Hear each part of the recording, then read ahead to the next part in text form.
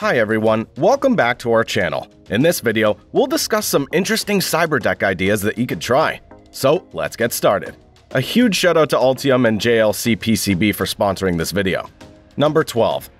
This cyberdeck from Carter's made using an old laptop. By deassembling his entire old laptop, he built a better cyberdeck using a Raspberry Pi Zero and an iPad mini dock. The trackpad's glued to a linear slide, which saves space as well as gives you a great experience while working on it.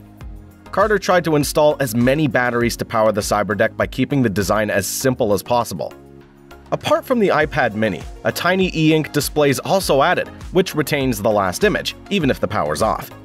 Among other things, the split keyboard's a great choice for this Cyberdeck. Number 11. Lucas used an old portable CRT display and turned it into a brand new Cyberdeck. He mounted a touchpad to the viewing window that might be uncomfortable to work with, but adds an aesthetic look to the deck. The keyboard's also custom built that features Gateron Silent Brown switches. On the panel, he added three more switches to change the picture's brightness, contrast, and tone. The deck uses a Raspberry Pi 4 that outputs a video signal to a 5 inches black and white CRT screen. So overall, the deck turns out to be a challenging yet interesting project for Lucas. Number 10. This Cyberdeck by Michael's built in a clamshell design. The display's mounted directly onto the Raspberry Pi in the top half, while the BlackBerry keyboard's connected in the bottom half. It acts as a USB-connected keyboard and mouse. The hinges hold these two halves and limit the opening range of travel to a 45-degree angle. Some felt strips are also glued onto the outer edges so that the display doesn't rub against the keyboard when it's closed. The case for the Cyberdeck's made of plywood, the deck uses around 4 to 6 watts when running, so it could be powered through a power bank and used as a portable device for a couple of hours. Number 9. If you're obsessed with the number of screens in a Cyberdeck, then you must try this one. This Cyberdeck has not two, not three, but six different screens that make it very special. The deck designed by Helistech is based on a modular 3D printed framework that gives you the ease of carrying it around. Driving the six displays are three Raspberry Pi 4 Model B single board computers, which gives the deck an interesting capability not often seen. The single six display system can be split into three dual display systems, each with a dedicated Raspberry Pi and capable of independent operation.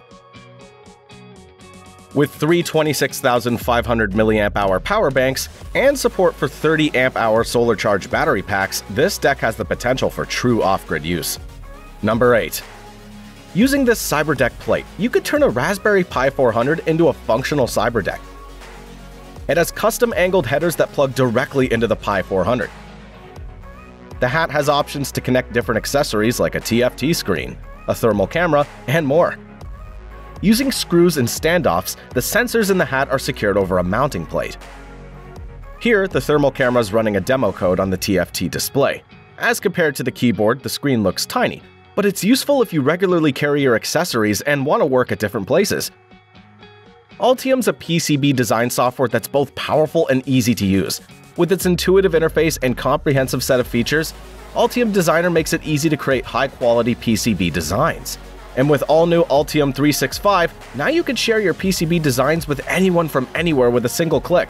And to convert these designs to real-life PCB boards, look no further than JLC PCB. They provide all types of PCB services and assembly at very competitive prices. Their high quality PCBs, quick delivery, and great customer service make them the perfect partner for your electronics projects. Number 7. Well, cyberdecks are not considered cool until they could do this. Interesting, right? It's a wrist wearable, dual mode cyberdeck. It switches between just the display mode and the full terminal mode with a tap on the screen. It's built on the Raspberry Pi Zero W. It contains one main 3.5 inch SPI TFT screen and an additional 1 inch OLED screen. A BT keyboard, a Pi camera, and a thermal camera are a couple of add ons that make the CyberDeck useful. On tapping the screen again, it opens up the camera to capture the live feed. Overall, this one's less of a practical field use and more of a fun cyberpunkish prop. Number 6. This cyberdeck by Michael uses a LattePanda 3 Delta. It's a powerful mobile computer with a great combination of I.O. pins. It's enclosed in a Pelican case along with an HD touch display, a fold-up keyboard, and a low-profile mouse. The onboard Arduino allows you to hook up sensors, servos, and displays directly to the I.O. pins, so it's great for tinkering with electronics or deploying as a project solution. The USB 3.2 port's provided on the top panel, which is perfect for use with high-speed devices. The touch display is a little small to work with comfortably, but it's a nice addition if you're working in an area where the mouse is not practical to use. Number 5. This CyberDeck uses a waterproof plano box that keeps the inner components safe. Inside it lies a 10-inch screen, a Raspberry Pi 400, and a 40,000 mAh power bank to run everything. In order to give the CyberDeck a tidy look, all the connections are kept below the monitor screen. In fact, the use of wall plate keystones at the side of the screen is an interesting way to recharge the battery pack, as well as make connections with the Pi 400 without removing the components. Overall, the simple design and the use of a minimum number of components make this CyberDeck worth trying. What do you think? Number 4. This CyberDeck has the strongest build quality among the others. It's built inside a 50 cal ammo can. Despite the space constraints, the CyberDeck contains a touchscreen and a mini keyboard that slides below the screen. The computer mouse and the adapter are stored on the side panel. Along with the screen, different ports like USB ports, HDMI ports, and Ethernet ports are provided on the front panel, which gives you the option of connecting different accessories. This deck does not use any 3D printed parts. Instead, it uses aluminum plates that make it sturdy. What are your thoughts on this? Number 3. Turning old gadgets into modern, usable devices gives people a satisfying experience.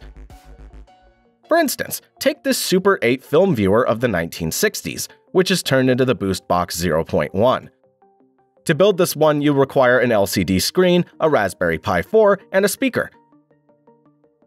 After the assembly, it becomes a handy device to view any video that's offered by YouTube. Not only that, but the device can also be connected to any Bluetooth speaker. This update's a vast improvement from the original purpose of the machine, that showed one roll of Super 8 film at a time efficient, and retro, right? Number 2. This CyberDeck's built inside a waterproof travel case, so you can take it anywhere along with you. The upper panel of the deck consists of a capacitive touchscreen, the Atomic Pi kit, and a Wi-Fi antenna, while the lower panel consists of a keyboard. Using a 3D printed frame and a couple of screws, all the components are properly held in their respective places, the USB hub allows you to connect more devices to the deck without the need of removing the keyboard and mouse. The deck's not that robust, but it's useful for everyday work with the flexibility of taking it to different places. Number 1. This one is the most compact CyberDeck on our list. It's made using two different parts, the screen and the keyboard. Using a hinge, the keyboard can be folded down to cover it. Behind the 3.5 inch screen lies a Raspberry Pi Zero W, neatly enclosed inside a 3D printed frame. The CyberDeck runs on two 18650 batteries that are placed behind the panel, just below the screen. The keyboard fits into the case using magnetic phone mounts. It's a Bluetooth keyboard that makes the overall design simple and reduces the number of connecting wires. So, these were some of the interesting CyberDeck ideas that you can also try. Comment down below the one you like the most. Drop a like and subscribe to our channel to keep supporting us. Goodbye!